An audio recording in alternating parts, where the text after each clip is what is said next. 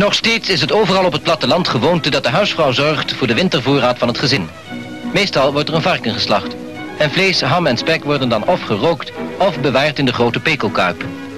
Andere levensmiddelen, zoals groenten en fruit, worden gekookt en verhuizen dan in flessen naar de inmaakkelder.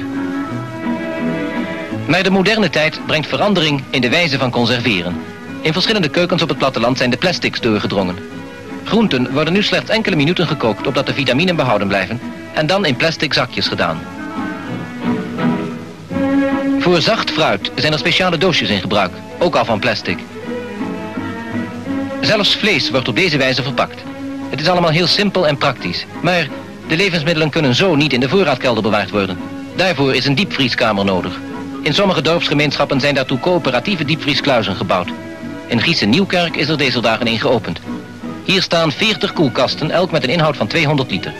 40 families kunnen voor 60 gulden per jaar hier hun wintervoorraad opslaan.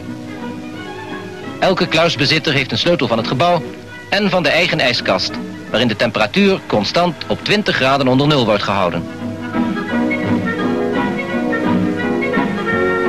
Gezien de grote belangstelling die er thans reeds bestaat, mag verwacht worden dat evenals in het buitenland ook in ons land het aantal diepvrieskluizen geleidelijk zal toenemen.